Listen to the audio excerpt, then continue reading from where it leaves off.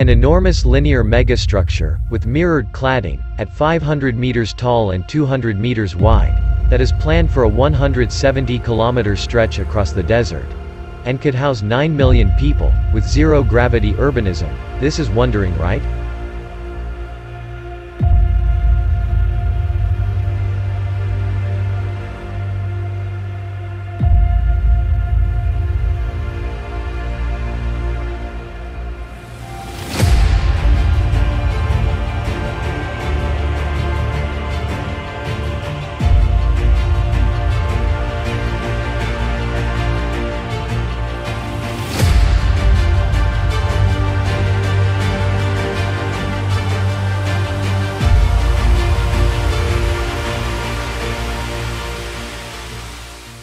This is the line.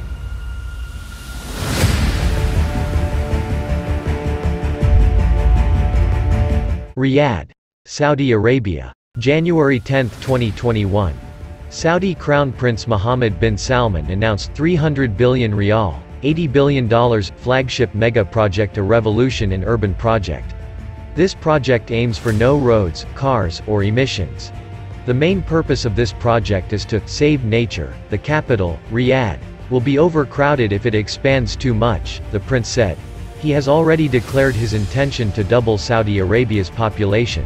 But, NEOM will take care of 10 million by 2030, which is the first phase of the project.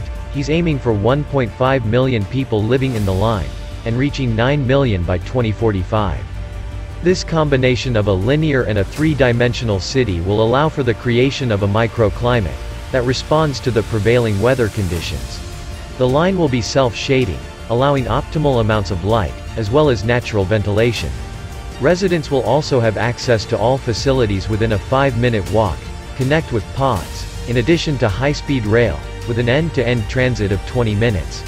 The Saudi Arabian city will be totally pedestrianized and is set to create 380,000 jobs in Saudi Arabia. Once completed the carbon emission-free city aims to contribute almost $48 billion to the Saudi economy. The city being built in Tabuk province in northwestern Saudi Arabia. It is planned to incorporate smart city technologies and function as a tourist destination. The line will be an architectural marvel running in a straight line from the mountains of Neom to the Red Sea.